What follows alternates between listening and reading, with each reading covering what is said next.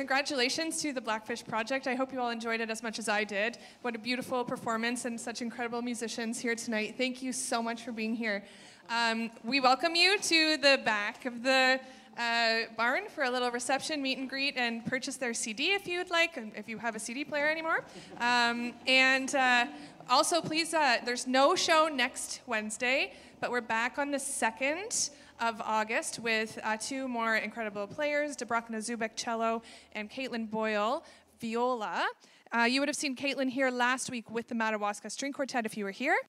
Um, and uh, I'd also like to thank the City of Mississauga, the Trillium Foundation, the Hazel McCallion Foundation, and the Musicians Performance Trust Fund and the local 159 Union.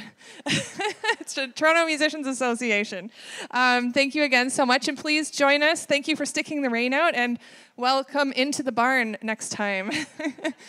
Have a good week.